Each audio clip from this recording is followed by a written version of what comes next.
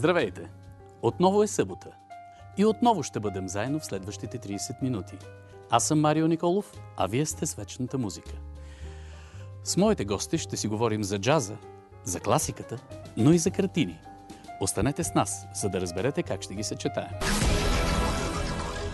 В предаването ще видите Ангел Забърски трио Александър Лиелиус, Радостина Желяскова и Росен Идеалов за музиката в картини и музикалните картини. Васил Димитров за Европейския музикален фестивал и първия национален радиоконкурс за млади изпълнители.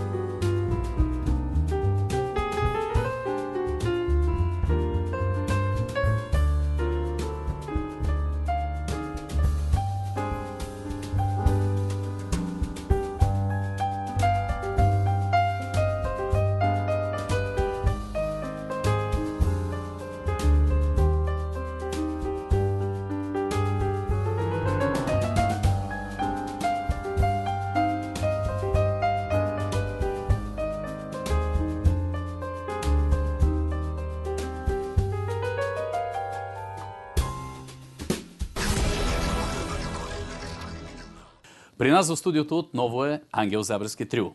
Чухте едно прекрасно произведение, ще прозвучат още две такива. Премиерни произведения единствено от студиото на Вечната музика. Те са част от един нов албум. Ще ни го представиш ли?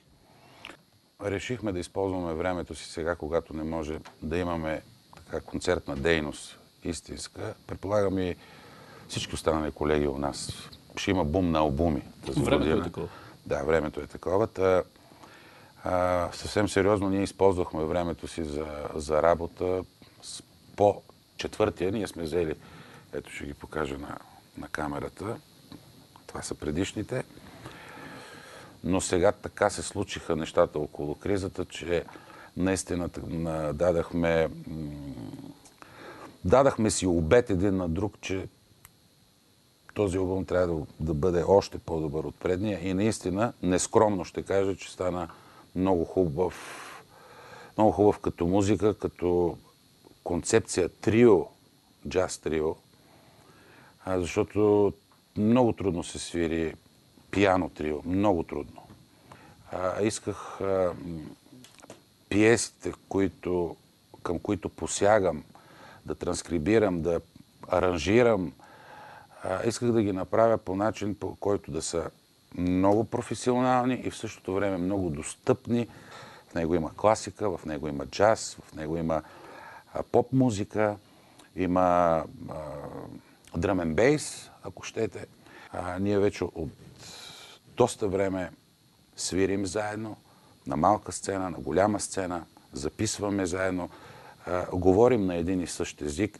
Завършвам с това, че наистина положихме огромен, огромен труд за да докараме тази сериозна, отговорна музика до варианта, в който живот и здраве тя ще се появи и на, на, на, бял, на бял свят. Ти каза, че сте имали повече време да работите. Вие сте сработени. Вие свирите доста... Колко време заедно вече? То, това няма край. Това няма край, но по принцип сме натрупали все пак някакъв, някакъв опит и километраж, както се казва. Това прави ли ви по-сигурни в продукта, който правите? Да, прави ни по-сигурни. А, и всеки музикант и всеки колега би трябвало да има да, тази отговорност да работи върху себе си, да не спира да работи върху себе си, независимо дали е пандемия или не. А, да, в случая бяхме по-затворени, имахме възможност повече да а, си обърнем внимание. Пак казвам, всеки трябва да го прави, независимо колко е станал добър и колко е напреднал в, за инструмента си, в, като музикант въобще, всеки ден трябва да се... Това е като спорта. Спортистите тренират всеки ден. Всеки ден трябва да се упражнява. Артисти и публика някак си, си залипсвахме един на друг. При вас как е? А, на мен със сигурност ми липсват концертните събития. Предполагам и на публиката. Мои познати, за да обобща публиката не мога, разбира се, като цяло, но мои познати често ми казват, кога ще свирите, много искам, айде няма ли вече. И тъжното е, че не можем да дадем точен отговор заради обстоятелства. Този студиен продукт, който сте направили, този албум. Да, ние в момента, го, в момента работим върху Работите него. върху да, него. Да.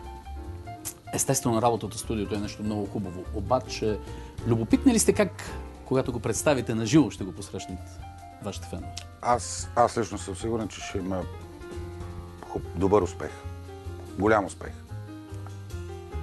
Ами... Защото, защото само за тези имаха успех, защото сме ги представили пред публика, а както споменах от Деве, този е още по още по-напред.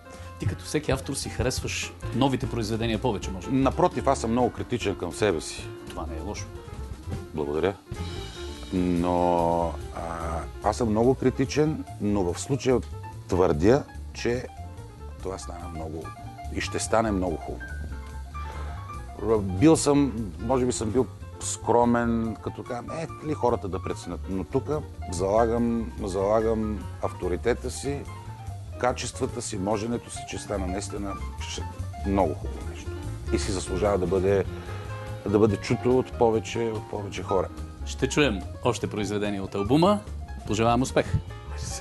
Благодаря. Благодаря.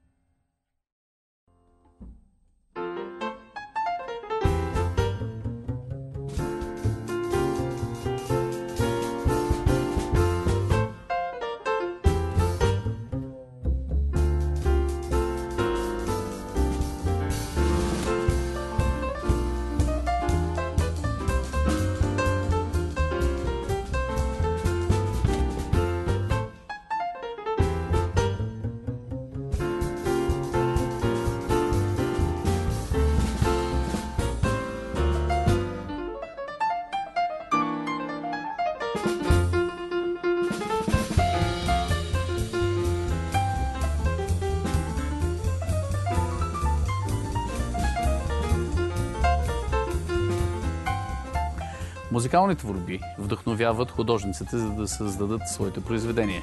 Картините пък вдъхновяват музикантите, за да създадат своята музика. Композитори, музиканти. Чия беше тази идея? Тази идея може да се каже, че беше моя, като едновременно, разбира се, тя е инспирирана от редица исторически примери, които имаме както в историята на музикалното изкуство, така и в историята на изобразителното изкуство. Какво имате предвид? На първо място може да се спомене естествено връзката между импресионистите в живописта и едноименното течение в музиката. Можем да говорим и за една връзка, която, която се усеща почти на сетивно ниво и която всъщност даде вдъхновението за заглавието на проекта Синестезис. Какво ще рече? В заглавието, както се, както се вижда, има няколко думи, които се разпознават от древногръцки язик. Син заедно, теза, естествено, естиси, усещане, както и синестезия. Това е едно сетивно явление, при което се получава двойствено възприятие. Двойно възприятие на две различни нива. така, например, е възможно един музикален тон да породи усещане за цвят или а, определена музикална фраза да породи усещане за форма. Също така усещане за определен мирис. А, може да се свържи и с обонянието, и с, и с други сетива. Това е едно явление, което, което се среща не толкова рядко при хората на изкуството. Как се събрахте заедно? Радосвета Желяскова е една от участниците в проекта. Всъщност... Визуалната част на проекта представям аз в момента, т.е. живописта. Първата стъпка беше да контактуваме художествената академия, Национална художествена академия в София и да отправим покана към студентите, към възпитаниците на академията за участие в, в този проект за създаване на живописни творби върху избрани от нас музикални произведения, като в случая ние избрахме 10 творби от български композитори, емблематични творби като импровизация и есен на елегия на Владигеров, може да се каже и до някъде импресионистични в по характер. Също така трио на Любомир Пипков, соната от Димитър Ненов, както и а, няколко произведения от настоящи преподаватели в Национална музикална академия, Велислав Заимов, Красимир Тасков, Атанас Атанасов. Откриването на вашата изложба беше на 10-ти с концерт в Камерна зала България. До кога ще продължи? Изложбата ще продължи до 30 април. Като да, откриването беше в камерна зала, един концерт, на който изпълнихме всички творби, и на който също така прожектирахме по време на изпълненията и самите картини. Изложбата, която остава в галерийното пространство на Комплекс България, остава самостоятелно, като на всяка картина е обозначено върху кое произведение точно е създадена. Ще има възможност тези произведения да се чуят и на няколко платформи в интернет, заедно с самите картини, просто едно а, съчетание от, от, двете, а, от двата резултати, а, резултата на проекта. Желаящите да разгледат по-подробно резултатите от тази първа сесия на проекта, могат да погледнат и страницата на самия проект Синестезис. Вярвам всеки, който отиде да види изложбата в, в галерия България, ще се убеди в това колко колко вдъхновяващи, колко вдъхновени сами по себе си и колко майсторски са картините на участващите студенти и възпитаници на художествената академия. И изобщо в значимостта на един такъв проект, вероятно. Разбира се. На мен ме е любопитно. Вие бяхте инспирирани от музиката. Точно така. Аз какво, избрах... какво усетихте, когато слушахте тази музика? Как я почувствахте? А, моята творба е инспирирано от произведение на Марин Големинов. Това е произведението, което аз избрах Кое на секундата. Танци с пет скици за струнен квартет. Точно така. А, произведението е уникално, изключително, а, създава изключително настроение. На втората секунда аз вече знаех какво ще представя на платното. Просто това беше любов от пръв поглед. А, моята картина а, пресъздава визия на една млада, красива българска, младо красиво българско момиче, облечено в доброджанска носия, която носи житник, сноп от житни гласове. За модел а, ползвах а, младата българска актриса Аделия Оклепо. За мен беше изключително интересно и вдъхновяващо да видя картината, изключително свързана именно с музиката на Големинов. За, за, за мен това именно е образ, който, който може да се може да изникне от тази музика.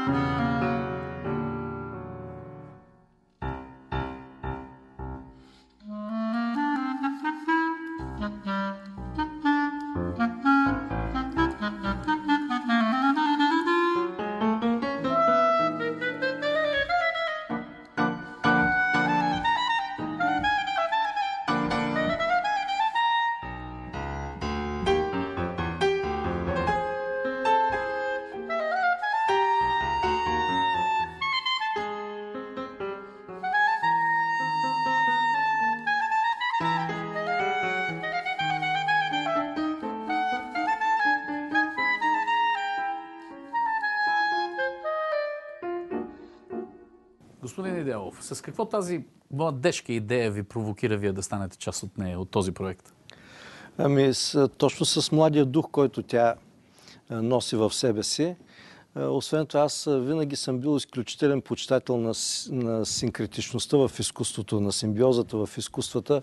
Обожавам да срия сред картини. Едно от любимите ми места, например, в София е Градската художествена галерия, където хем има акустика и винаги има хубава експозиция както и в галерията на Оборище 5, сега новата галерия, където скоро ще имам подобен концерт, само че с танц. Вие обичате да експериментирате. Вие свирите много нова музика.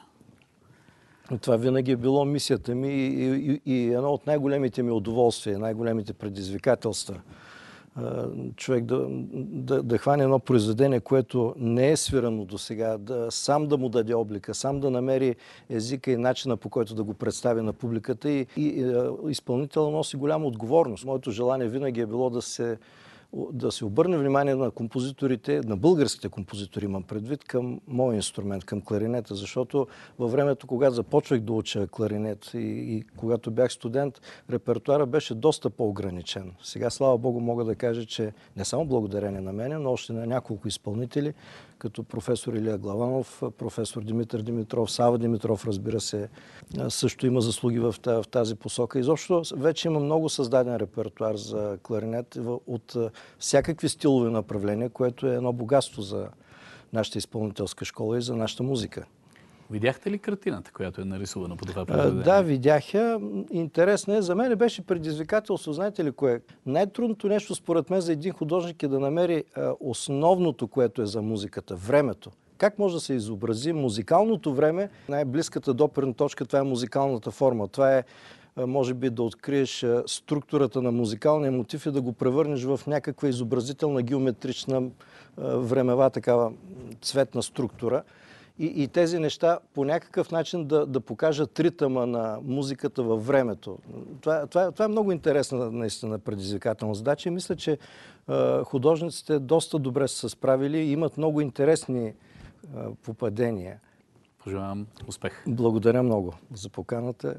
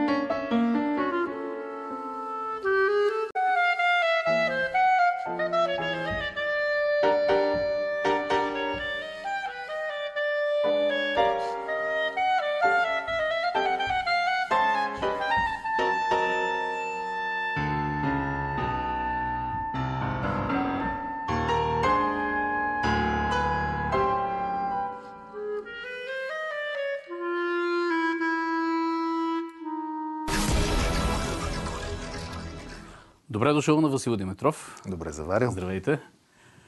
Конкурс, радиоконкурс за млади изпълнители. Тази идея отдавна ли беше или ситуацията в момента я породи? Определено, определено не е отдавна. Това е една нова идея, която действително възникна във връзка с по-особените рестрикции, които не позволяват на децата да се изявяват нито на концерти, нито на конкурси, на живо да свират. И ние решихме, че би било интересно не само за нас като организатор, но и за, за всички обучаващи се в музикалните училища в страната, в а, Музикалната академия, Плодивски институт, а, както и Нов Български университет, да вземат участие в този конкурс.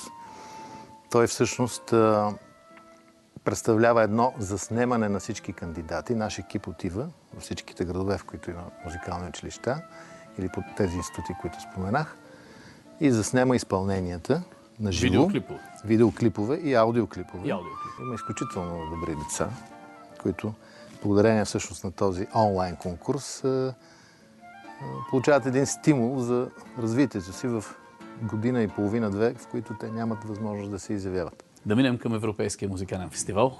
Програмата, естествено, ще бъде повлияна от онлайн инициативността на всички организатори, които правят нещо в момента. И той ще започне с две, два проекта, които са посветени на детската публика. Те ще бъдат излъчени в платформи за учебните заведения, за ученици. И това са два образователни концерта. Единият ще бъде Моцарт и Бетовен, другия ще е една история за, за музиката.